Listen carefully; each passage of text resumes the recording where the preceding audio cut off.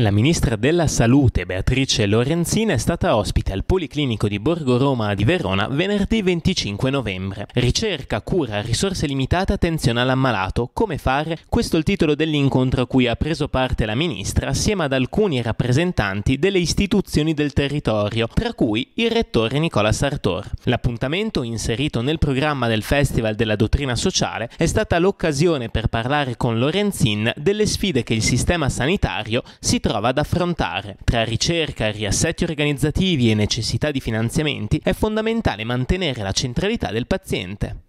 Ovviamente anche le risorse servono ed è uno dei motivi per cui quest'anno abbiamo 2 miliardi in più di finanziamento del fondo sanitario, ma è anche uno dei motivi per mantenere la centralità del paziente, per cui abbiamo cambiato i modelli organizzativi, abbiamo fatto da un lato le centrali uniche d'acquisto e dall'altro realizzato dei fondi ad hoc per garantire l'accesso ai pazienti dei, dei, trattamenti. I nuovi LEA, che ricordo sono i livelli essenziali di assistenza, garantiranno nuove prestazioni per 800 milioni di euro e quindi anche quei pazienti di quelle regioni che non hanno avuto accesso ad alcune prestazioni perché erano extra lei l'avranno e altre ancora nuove.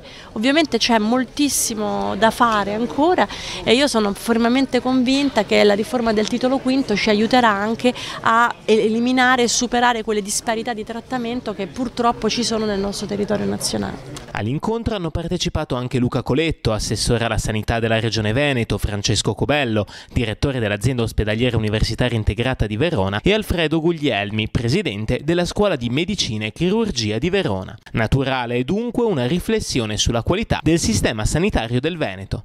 La Regione Veneto è una regione che si inserisce appieno tra le regioni virtuose in Italia, è una regione dove ci sono molti centri di eccellenza e come, come tutte anche le regioni virtuose possono ancora migliorare e questo penso che sia la sfida di tutti.